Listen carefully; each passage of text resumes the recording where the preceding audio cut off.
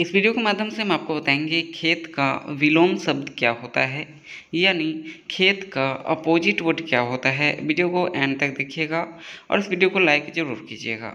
खेत का विलोम शब्द होता है वन। खेत का अपोजिट वर्ड होता है वन। वन क्यों? तो खेत एक तद्भत शब्द है और वन एक तत्सम शब्द है। तो आई होप आपको ये खेत का अपोजिट वर्ड आपको क्लियर हो गया होगा। चैनल पर नए हो चैनल को सब्सक्राइब कीजिए। ऐसे डेली विचेज इंग्लिश का वर्ड सीखने के लिए। Thank you for watching